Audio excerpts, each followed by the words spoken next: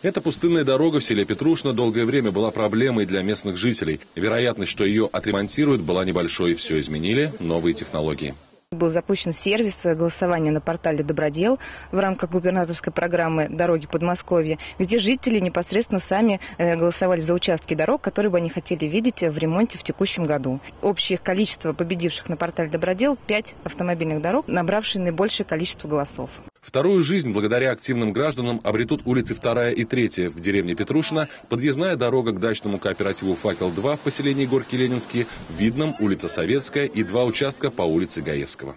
По контракту каждый подрядчик, выполняющий работы по губернаторской программе, обязан разместить в месте ремонта вот такой плакат. Здесь указано наименование объекта, контактные данные заказчика и подрядчика, а также время начала и окончания работ. Здесь указано, что работы будут сделаны в течение месяца, но подрядчик утверждает, что справится в течение двух недель, так что неудобств терпеть недолго. Впрочем, и за них здесь тоже извиняются. Жители улицы Гаевского также проявили инициативу на портале «Добродел». И здесь закипела работа. Сделать ремонт некачественно или неоправданно затянуть сроки, как это раньше нередко случалось, у подрядчика не получится.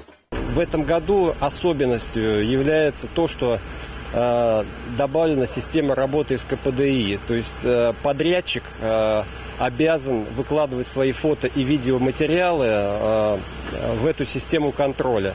И, соответственно, это является дополнительным э, контролем как на уровне области, так же, как и э, и на местном уровне. Представители подрядчика отмечают, что сложности с ремонтом почти не испытывают, но как это не парадоксально, несмотря на то, что именно местные жители стали инициаторами ремонта дороги, они же и создают трудности для рабочих. Мешают машины. Сами видите, вон, посмотрите дальше. Машины стоят и рабочие стоят, ждут, когда будут, машина уберется, будет э, работа дальше проводиться. Тем не менее, работа идет. Забота о ремонте дорог, наверное, самое органичное проявление гражданской активности. Это отметил и губернатор Подмосковья в своем традиционном обращении к жителям области. Мы получили огромное количество обращений от жителей, которые просят расшить узкие места там, где нет правого поворота, там, где не горит стрелка. И вот с помощью системы «Добродел» мы собрали 213 таких перекрестков. И в этом году облегчим там жизнь жителям наших городов.